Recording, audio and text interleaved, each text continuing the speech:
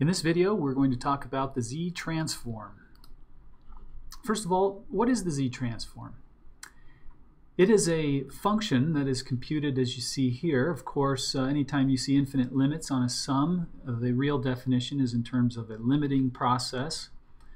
Uh, but um, just like the DTFT, this is a transform on a possibly infinitely long sequence, x of n. And uh, you can see here how this is constructed.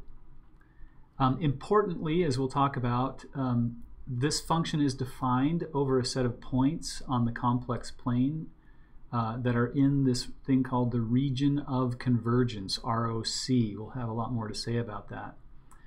Uh, but the thing to note here is that um, this is a function of a complex variable and it, it, itself it can be um, it can take on complex values. So it would have a magnitude and a phase potentially if we wanted to look at it that way.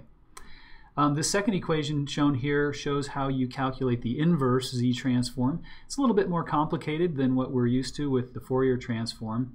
Um, this notation here an integral with this circle this refers to a counterclockwise contour integration in the complex plane where this, this uh, contour lies in the region of convergence. We're not going to have very much to say about this. If you're interested in learning more about this kind of an integral, you'll have to take a class on complex variables from the math department.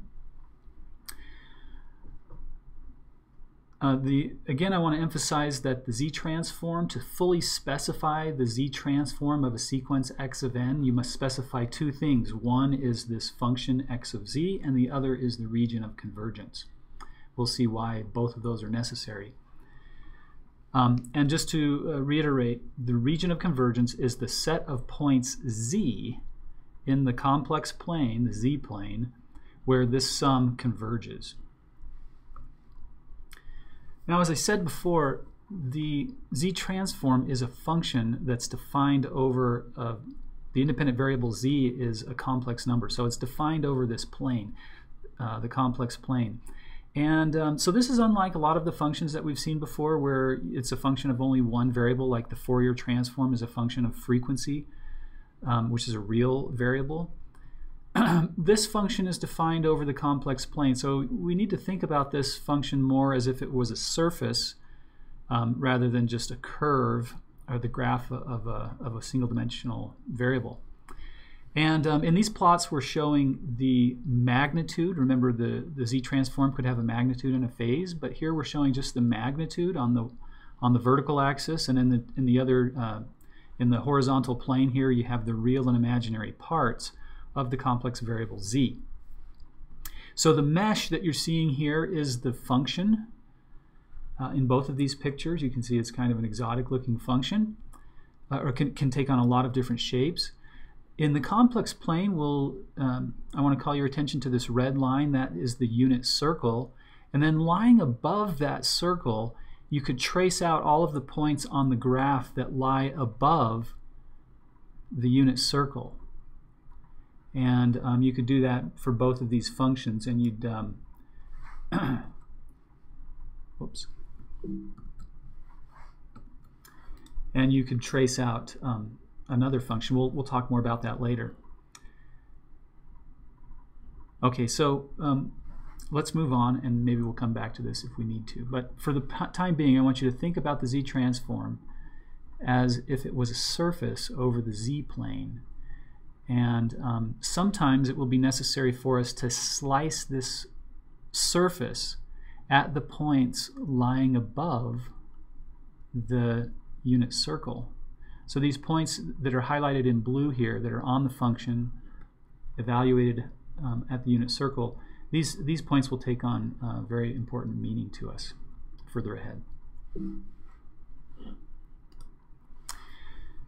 So how is the z-transform related to other transforms that we're familiar with? For example, the discrete time Fourier transform.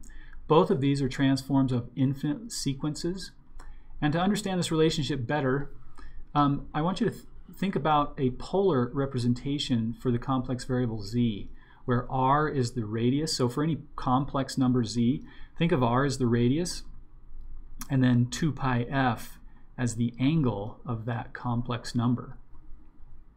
So here we have the definition of the z-transform on the far left. And then into that, we're going to substitute this um, expression for z, the polar representation for z, uh, and you can see that happening here. Remember, we have z to the minus n, so we're going to have r to the minus n, e to the minus j2 pi fn. So after we do that substitution, if we regroup the terms inside the second sum and lump the r to the minus n with x, we see that this now looks identical to the discrete time Fourier transform. But now it's the discrete time Fourier transform not just of x, but of x times this um, exponential signal r to the negative n. And what this does is it gives us a relationship between the z transform and the discrete time Fourier transform. So the z transform is not all that different from the Fourier transform, um, but it is different in some important ways, as we'll see. Um, so uh, in particular, I want to highlight this and we'll talk about this a little bit more. So, so you could get the discrete time Fourier transform by evaluating the z transform at points lying on the unit circle. So think about what's going on here. We've just showed this relationship between the z transform and the DTFT of a modified version of the sequence. Now if you let r equal 1 here, you can see that um, we're restricting attention. Again, you can put r equal 1 into this equation. We're, if we did that, we would be restricting attention to only those values of z that are equal to e to the j2 pi f. And we know that those are the points lying on the unit circle.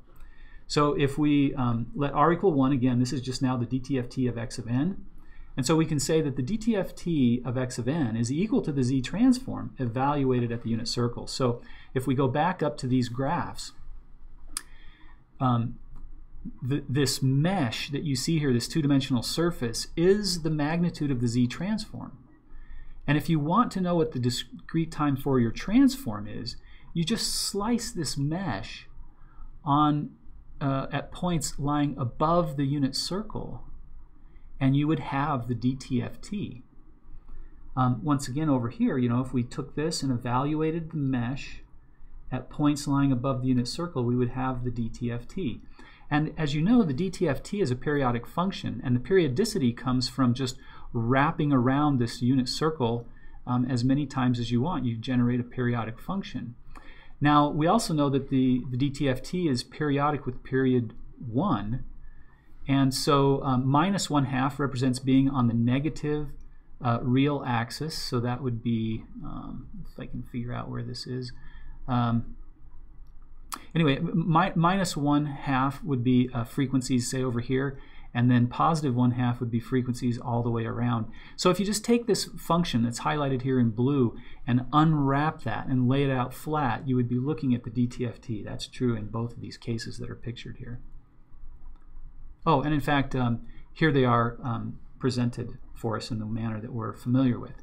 So um, in this case, the author uh, that created these plots um, instead of using a, a, normalized frequency axis between minus a half and a half, they're showing it in omega, uh, which goes from minus pi to pi. But you can see that if you took this blue line on the surface over here, sliced it, and then unwrapped it, you would, you would get this picture right here, which is a discrete time Fourier transform.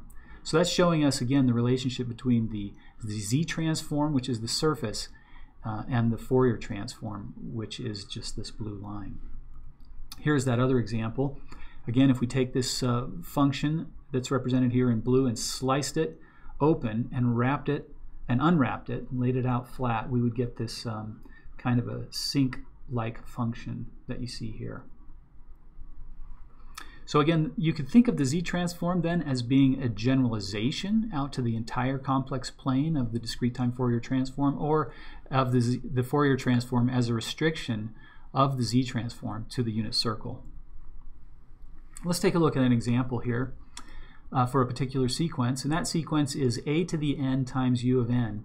Let's assume that the magnitude of a is less than 1, so that this is a sequence whose envelope is decreasing as we move towards positive, positive infinity. Uh, of course, this is a causal sequence. It's 0 for negative values of n. And uh, we know this is a pretty simple one because the DTFT can be calculated using a simple geometric series argument. and uh, we get this form that you see here. If we were to calculate the z transform of that same sequence, we would get uh, this expression here. Again, it's just simply a uh, geometric series uh, calculation. Um, when we when we do this with the z transform, we we have to make an extra uh, consideration here. You, you, see that when you combine in the DTFT a to the n and e to the minus j2 pi fn, the magnitude of the uh, term being exponentiated is equal to the magnitude of a, which we know is less than 1. And so we can write down uh, this uh, without any additional um, statements uh, because the exponential has magnitude 1. But when, we, when we're down here in the, the z transform expression, a times z to the minus 1 is being raised to the n. And so we have to make this additional statement that a times z to the minus 1 has to be less than 1 in magnitude in order for us to apply that geometric series formula. So this then becomes our statement about the region of convergence. Any z for which this inequality holds is in the region of convergence. So this expression here does not hold for every z in the entire z-plane. It only holds for some z's in the z-plane. And those z's are called, that set of z's is called the region of convergence.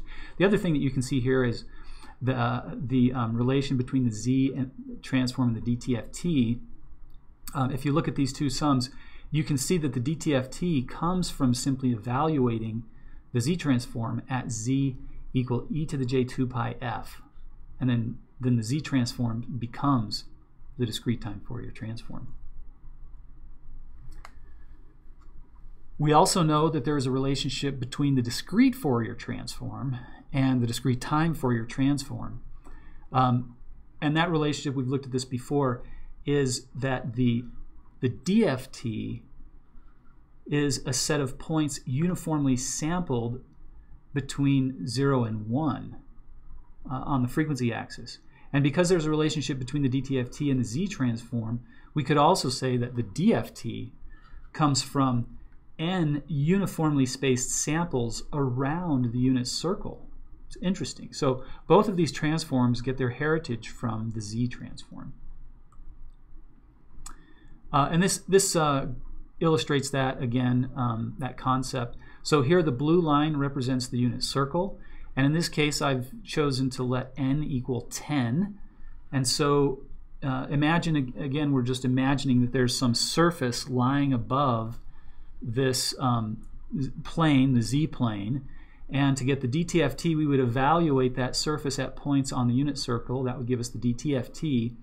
And then if we evaluated at these discrete points on the unit circle, evaluated that surface at these discrete points, we would get the 10-point DFT.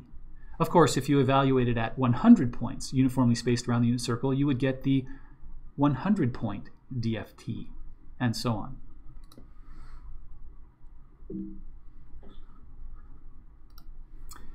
All right, now let's talk about convergence.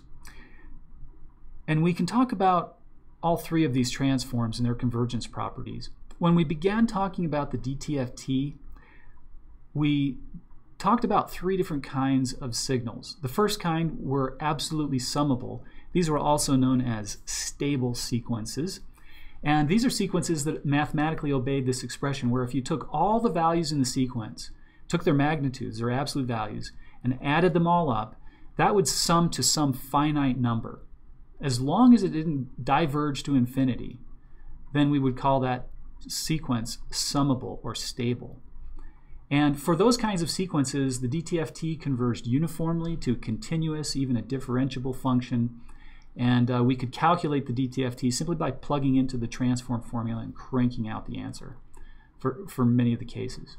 There was another kind of category of signals called energy signals, and these are signals that uh, were square summable. So if you squared the values, added them all up, basically calculate the energy in the sequence, you would get a finite number. That's an energy signal, as long as it didn't diverge to infinity. And um, for these kinds of signals, um, the Fourier transform converged in the mean square. And these uh, kinds of signals typically had discontinuities in the Fourier transform. Uh, examples included things like a sinc function, which is the impulse response of an ideal low-pass filter, has that discontinuity between pass and stop bands. And other examples include the ideal Hilbert transformer, has discontinuities, and another example is um, the ideal differentiator is also one of these energy signals. And the third category were power signals, and these are ones are, are sequences for which uh, the power, when you do this power calculation, you get a finite number. Um, these kinds of signals typically had Dirac delta functions in their Fourier transform. That was kind of the giveaway, which means that at that frequency where the Dirac function activates, um, there's there's no convergence concepts going on at all there, and that Dirac, Dirac function is basically telling us that at that frequency, this summation, the DTFT summation, is actually diverging. of course, when we got to the DFT, the DFT only applies to finite length signals, and so there were really no convergence questions to talk about. the DFT converges um, for all sequences. Um, and then and then we get to the Z transform.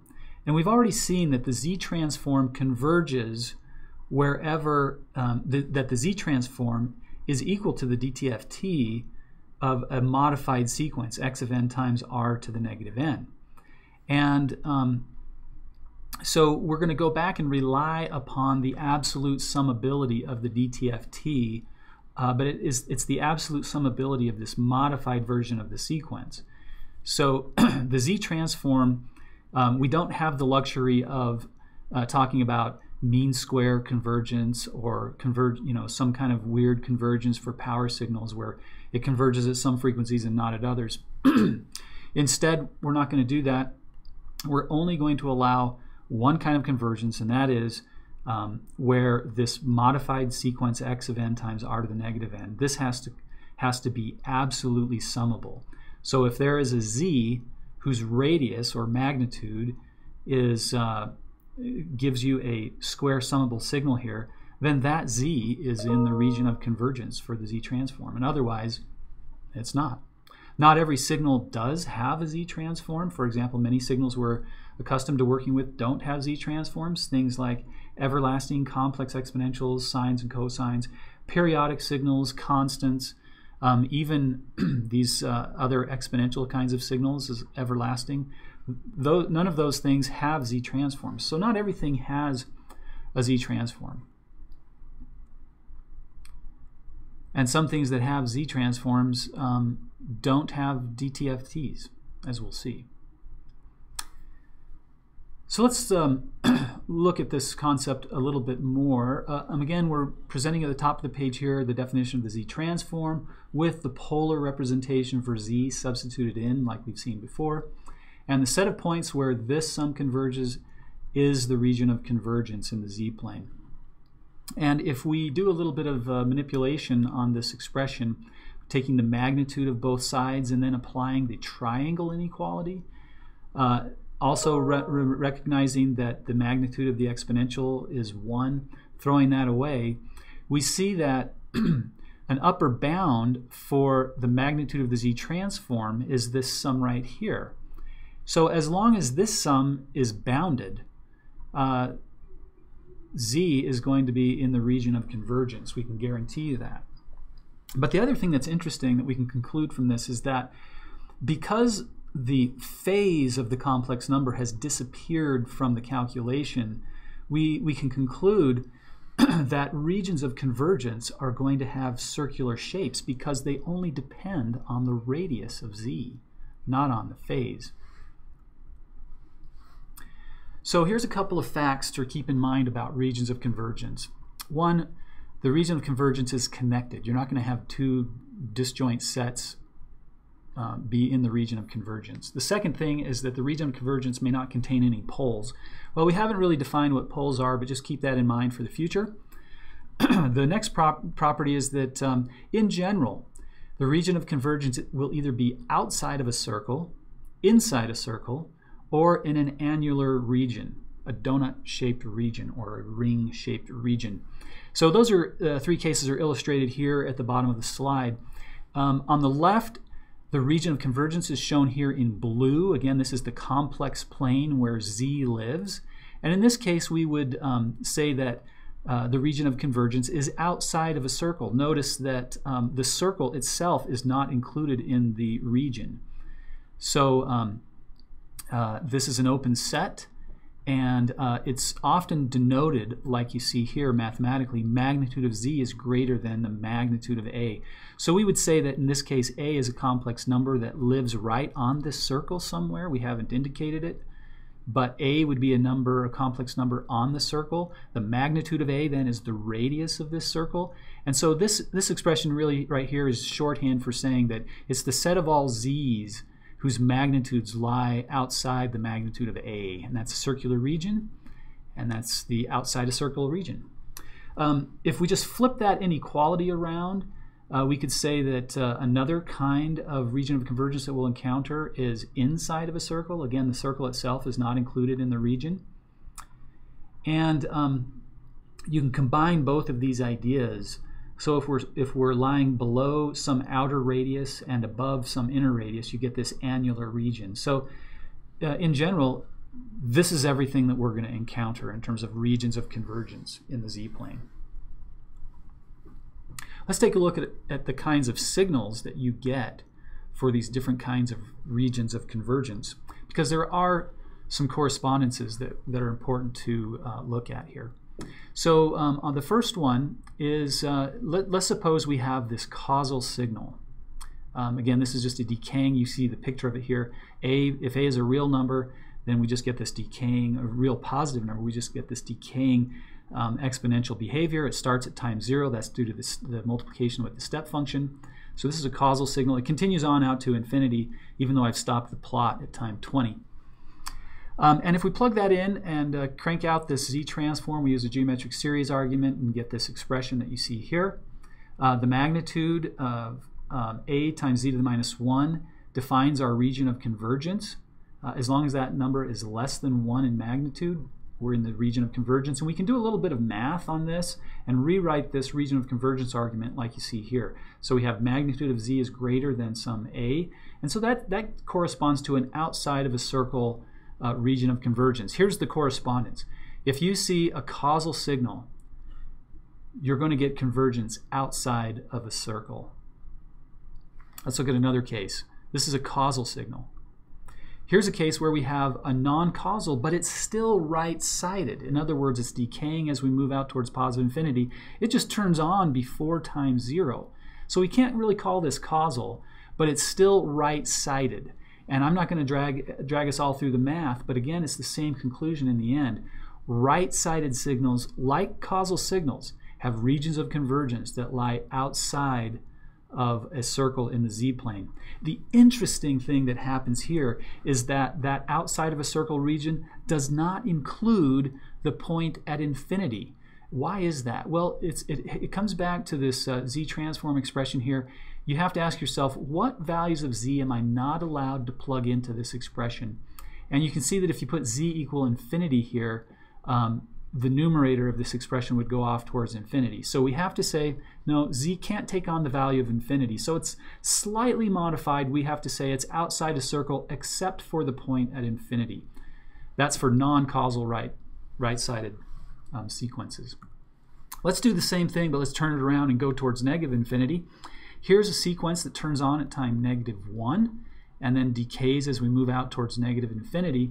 If you go through the math, and do the same sorts of things, you find out that the, the region of convergence for this kind of a signal, for left-sided or anti-causal signals, converges inside a circle, where the radius of that circle is equal to the value of this number that's being exponentiated here.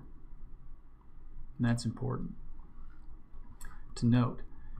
Here's a non-anti-causal left-sided sequence. Okay, so again, this one turns on um, at positive times, but it, again, it decays towards negative infinity.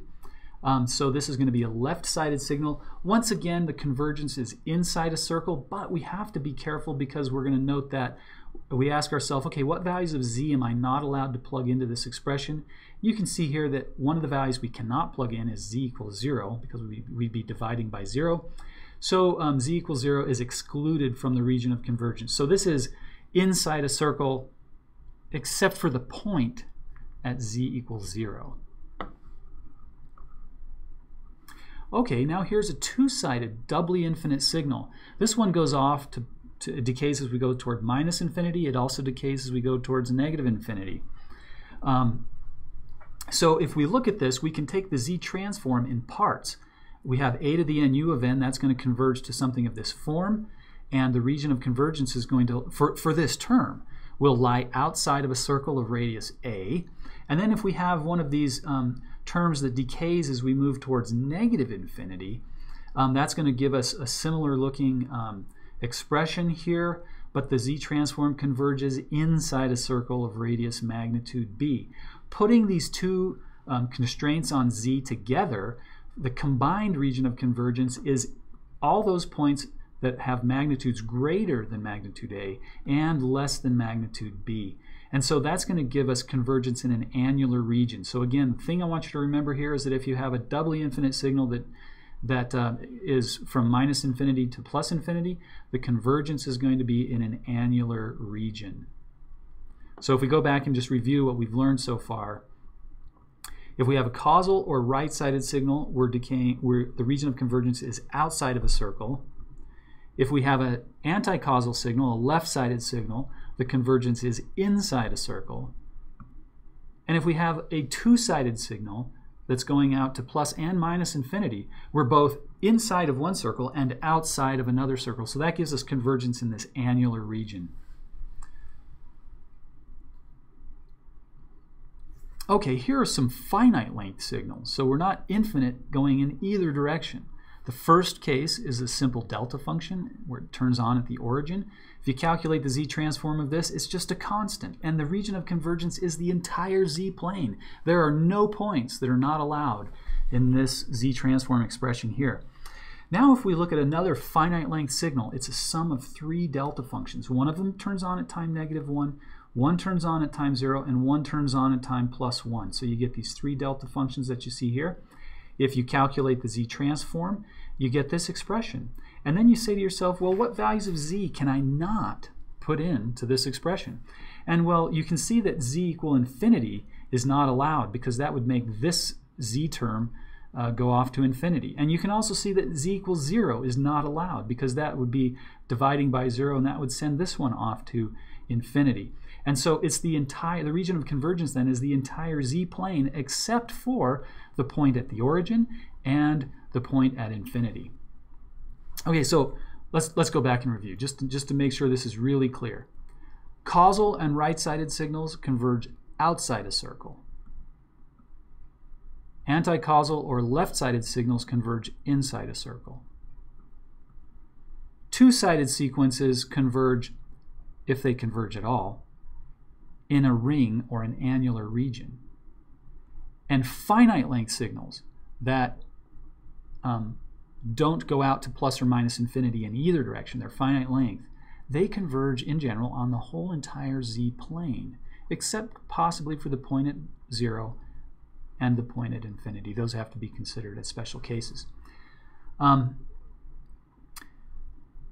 let's look at another finite length signal. This is a causal finite length signal. You can see it here. It's uh, length 10, and it, it decays over that uh, interval, uh, which is less important, but um, we can do, do a little bit of math on this.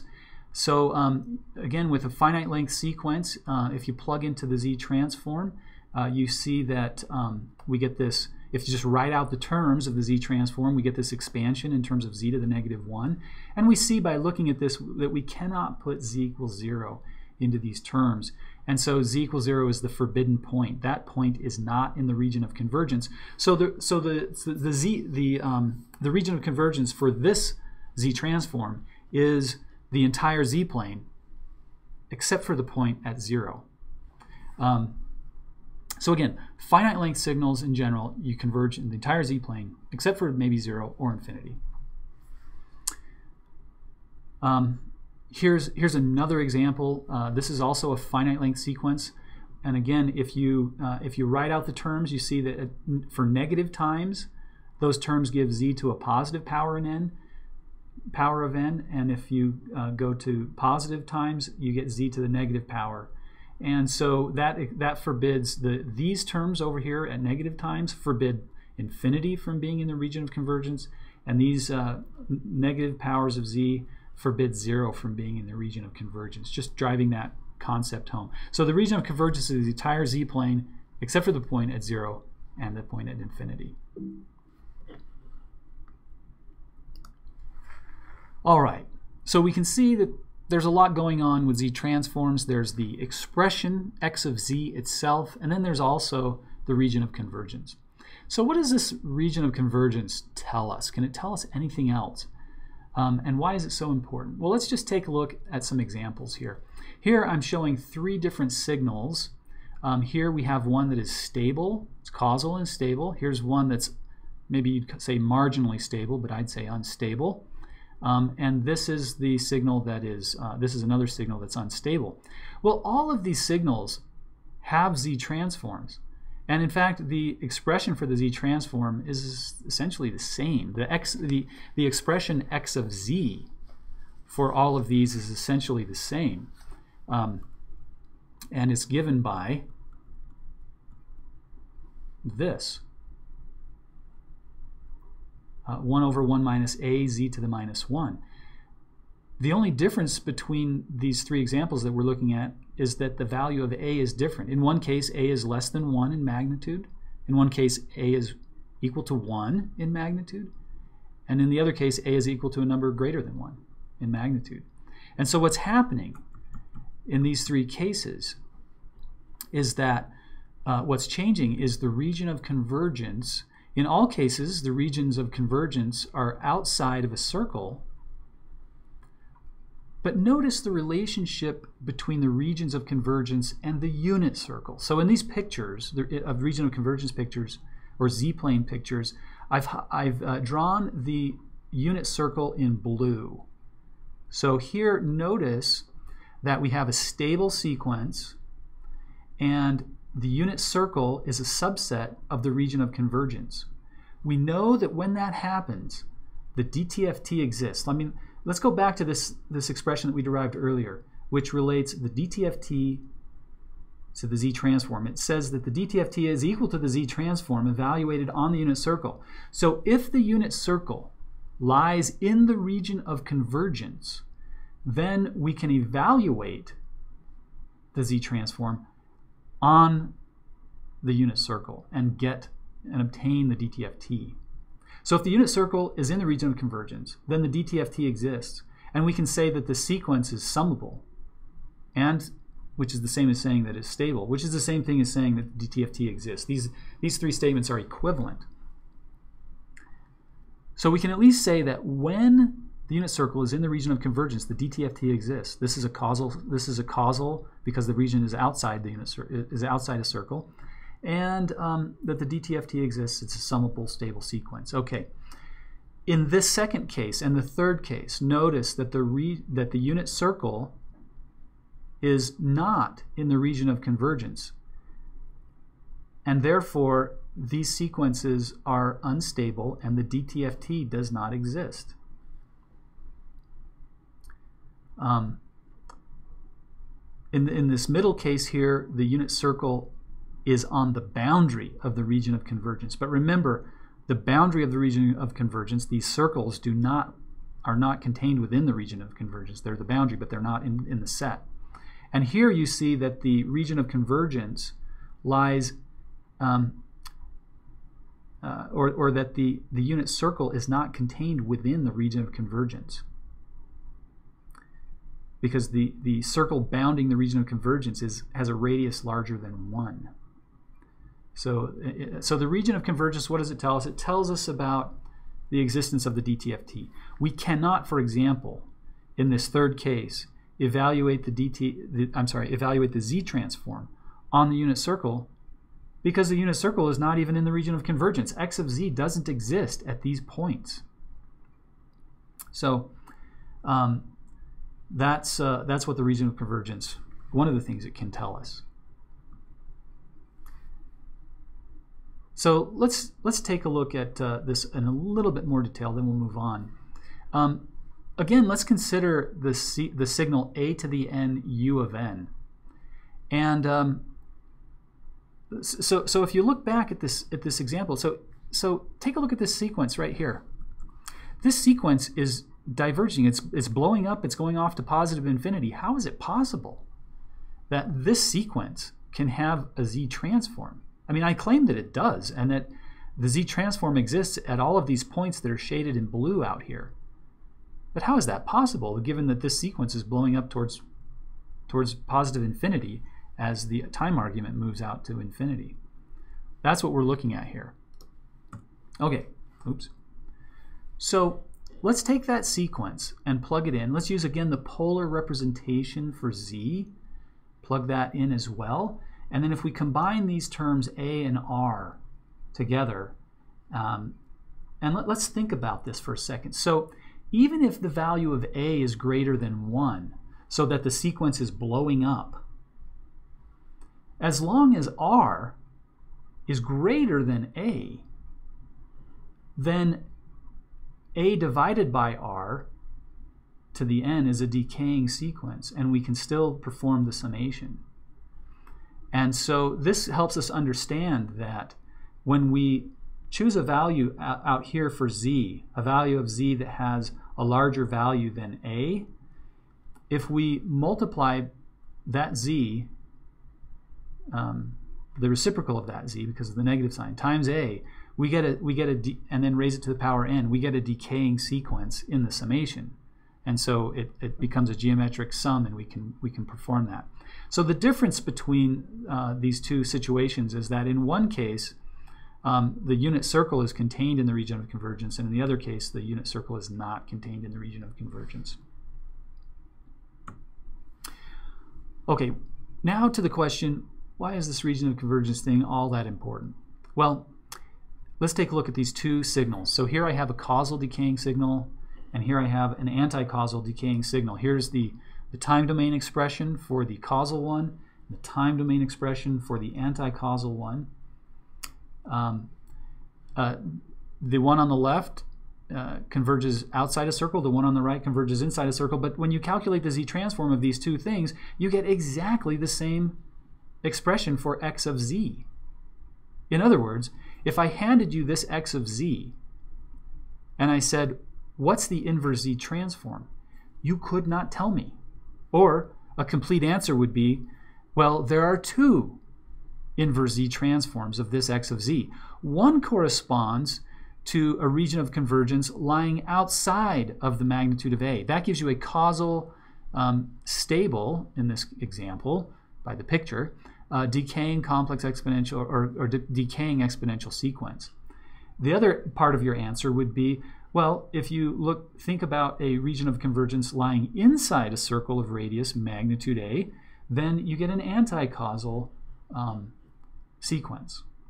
So um, the, the moral of the story here is when you're specifying a z-transform, always, always, always specify two things.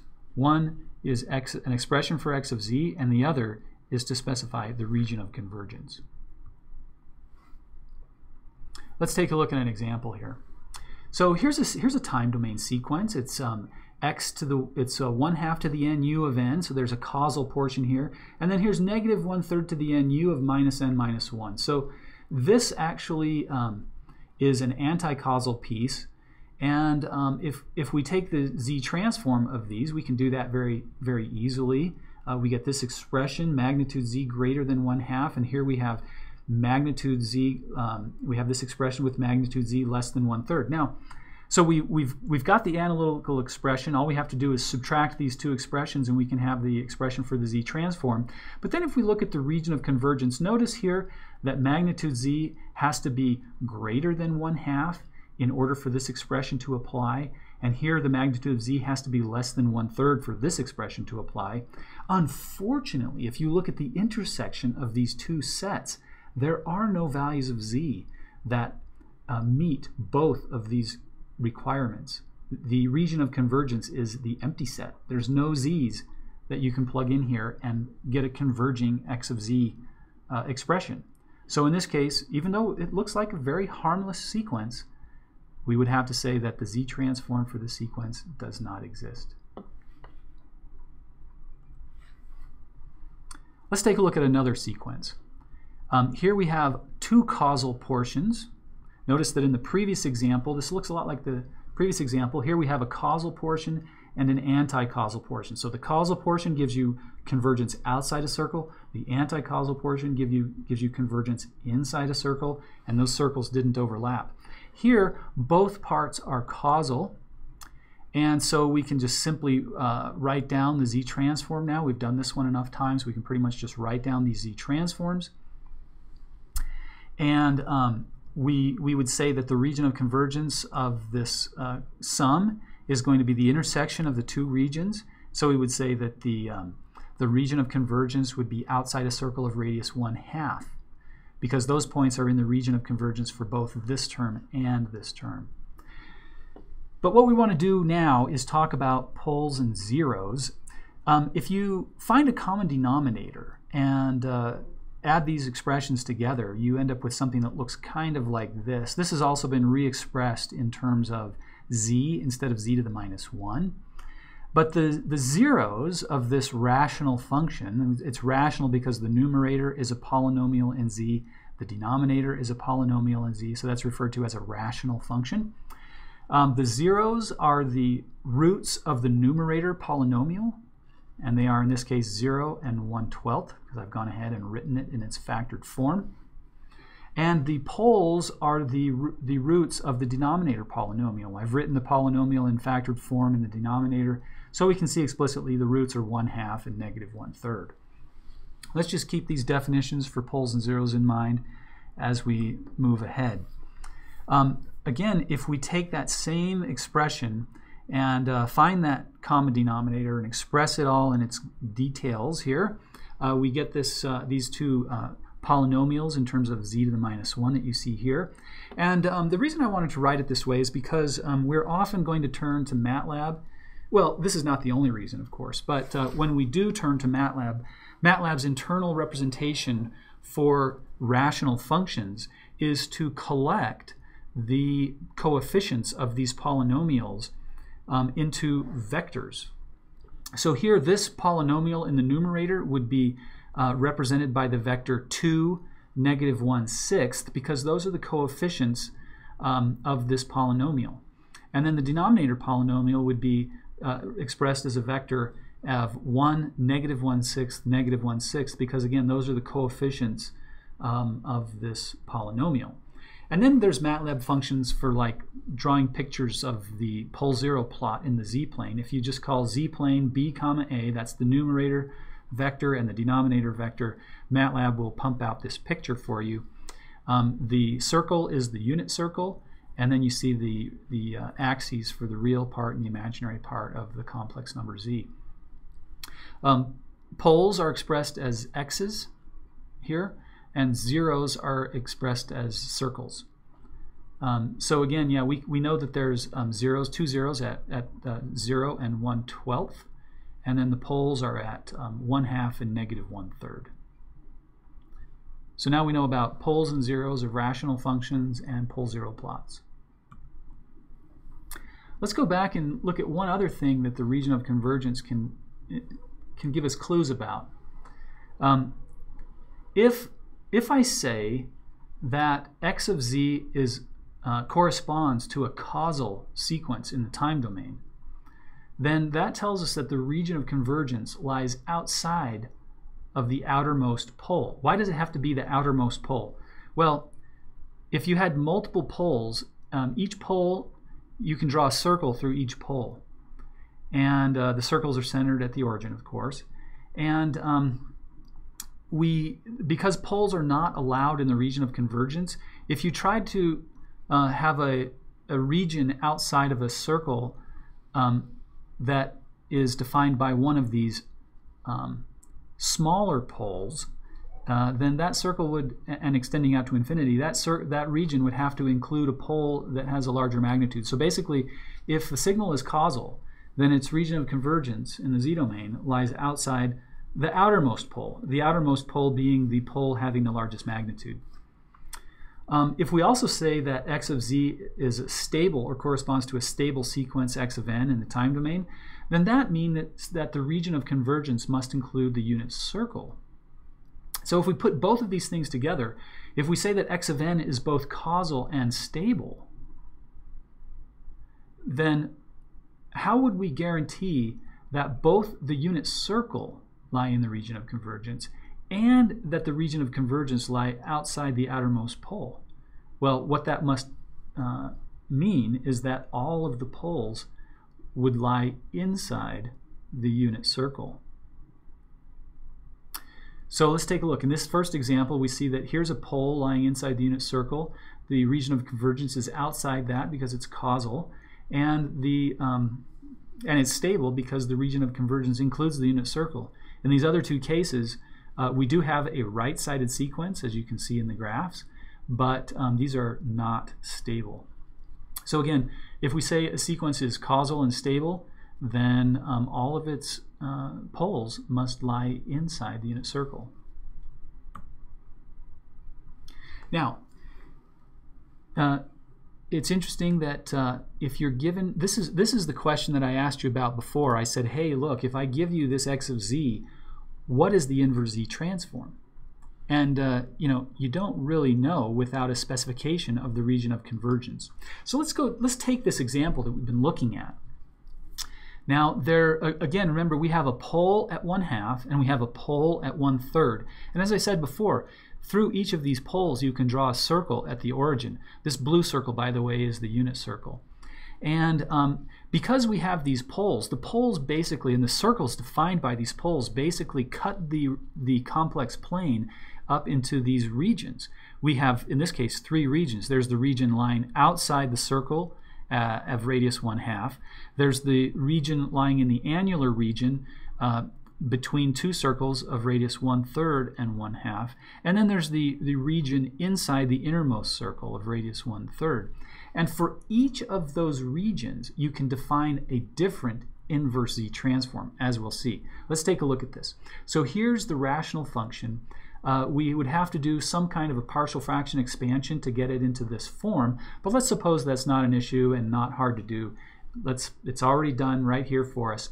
We have these nice terms. We can look these up in tables or we, we know from experience now that the inverse z transform of this one is going to be 1 half to the n, u of n, and this one goes to um, uh, negative one-third to the n u of n.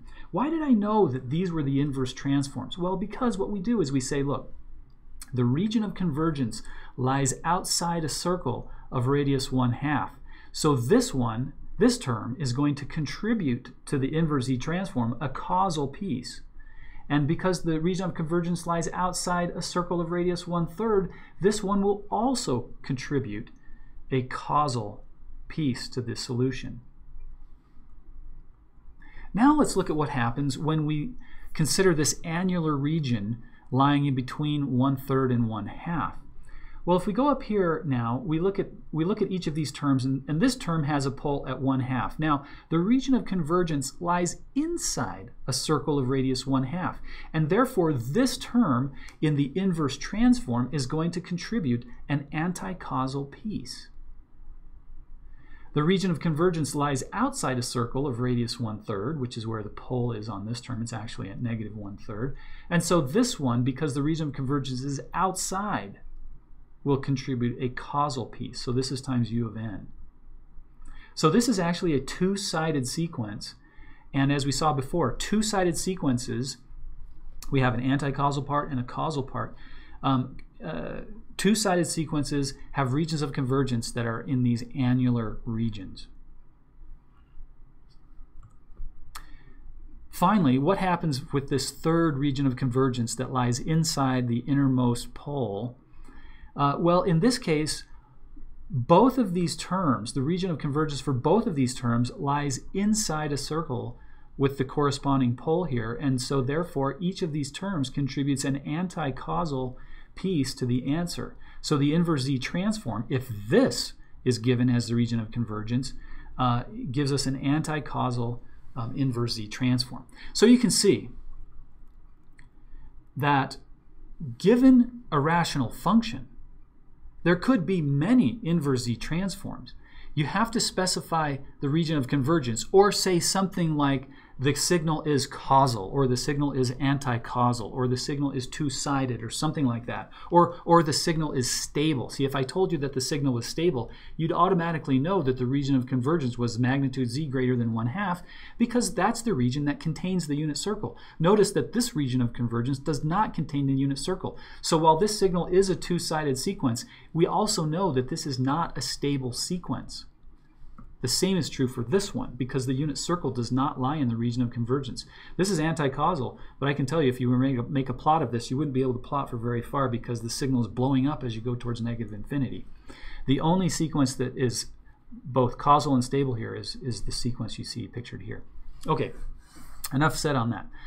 Again, specify the region of convergence or, um, or work the problem for every region of convergence that you can, you can devise given where the poles are. Um, here's another example um, with a with a finite length signal. Um, here we plug into the z-transform formula. We can also factor out um, uh, z to the m from the numerator and the denominator and get some cancellations going on. When we've expressed it in this form, we can more easily see that the um, zeros uh, have this form. They're a to the a times e to the j 2 pi k over m. So we get these m uh, m zeros that um, move around a circle of radius a. And in the denominator, we have a pole at zero. In fact, it's an m minus one order pole at zero. And we also have a pole at z equal a. The interesting thing is that we have a zero at z equal a as well. And so we get a pole zero cancellation. Let's suppose a is a number, uh, a is the number 0.8, which lies on the real axis right here. Uh, you see the unit circle in uh, solid blue line here. So this is um, inside the unit circle at 0.8 and we get a pole zero cancellation occurring. So because there's not a pole at that location, the region of convergence is the entire z-plane except for z equals 0 because we have poles there. Notice that you can have zeros in the region of convergence. That's not a problem. You just cannot have poles in the region of convergence. To represent this finite length signal in MATLAB, I just want to point this out because um, you know, this could be useful. There's two different ways this could be done. One is to write out the z-transform terms. It's finite length, so this could be done. This terminates after some time. Um, and you can see that uh, representing this in MATLAB, it, it, you, um, if you think of this as a rational function, you have this polynomial in the numerator, and in the denominator, you just have the number 1. And so we say the denominator polynomial is given by 1, and the numerator polynomial has entries 1, a, a squared, and so on up to a to the m minus 1. And we can perform that calculation very easily in MATLAB by just saying a raised to the power um, element-wise, 0 up to m minus 1. And so this will create a vector for us that has coefficients 1, that's a to the 0, um, a, that's a to the 1, a squared, a to the 2, and so on out to a to the m minus 1. So this would be a valid way to represent this signal in MATLAB. Another way to represent this signal would be to go to the z-transform expression that you see up here, also repeated right here, that, that we obtain by applying the geometric series formula. And um, here we see a proper rational function. Uh, well, it's a rational function uh, where we have a numerator polynomial and a denominator polynomial. And so here in the denominator, we, the coefficients are 1 and negative a. And in the numerator, we have 1, and then we have 0 times z to the minus 1, 0 times z to the minus 2, 0 times z to the minus 3, and so on, all the way out to negative a to the m times z to the minus m. And so we would build that vector in MATLAB by putting 1, a bunch of zeros, and then negative a raised to the power m.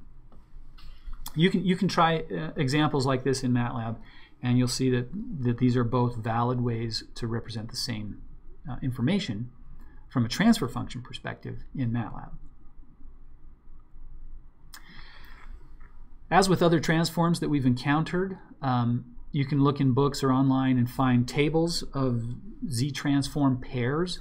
So um, here, you know, we've seen examples like this already. Delta of n goes to 1. The region of convergence is the whole z-plane. The unit step function, we have this simple form. The magnitude of z greater than 1 is the region of convergence. Um, here's an anti-causal unit step function. Um, same z-transform expression here. Uh, the only thing is that the region of convergence is inside a circle instead of outside a circle. Um, if we have a delay, then the z-transform is z to the minus m, if it's a delay by m. And you can look at the region of convergence in those cases. Again, uh, we've seen these two examples already. You have the same z-transform expression, even though one is causal, one anti-causal. The difference being that the region of convergence is either outside a circle or inside a circle. And there's a bunch of other examples here in the table. Notice that all of these are either finite, like the last one, or they're infinite in length being multiplied by either a causal unit step function or an anti-causal unit step function. So, so notoriously, what's missing in this table? Well, we don't have everlasting sines, cosines, complex exponentials. Um, we don't have constants. We don't have uh, periodic signals, things like that, because these signals do not have z-transforms. There's also z-transform properties, which we could spend time deriving. But we've already derived these properties for the DTFT and other transforms, and so I feel that we don't need to repeat those steps because the steps are all essentially the same. The only thing that we have to do now in addition is um, keep an eye on the uh, region of convergence that uh, might change as a result of these transforms. Uh, a couple of the important properties that we're going to refer to later are the convolution property. Notice that if you convolve in the time domain, you multiply in the z domain, and the region of convergence contains the intersection of the two regions of convergence. Also, you have conjugation properties, time reversal properties, time reversal and conjugation properties, um, and other sorts of things. There's also in the table something called the initial value theorem, which says that um, if the signal is causal, uh, then the steady or, or the infinite behavior of the Z transform is determined by that first sample in the sequence. There's also a final value theorem, though it's not listed in the table in our book. And I, I state that here. If Again, if x of n is causal, then uh, the final value of the sequence you can obtain by um, this limiting process on the Z transform. Okay, let's now move over and start talking a little bit about systems um, and the Z-transform. So uh, the Z-transform of the impulse response is called the transfer function of the system. Here's a simple example. If h of n is equal to delta n minus d, so this would be like for a delay, the Z-transform is z to the minus d. And you see this often in Z tran or in signal processing block diagrams. You'll see blocks labeled H of Z, which means that this is a linear time invariant system and it has a Z transform given by H of Z. Um, for a simple delay block in a signal processing diagram, you might see something like this, where you have z to the minus d. So often you have single delays, so that would be z to the minus 1.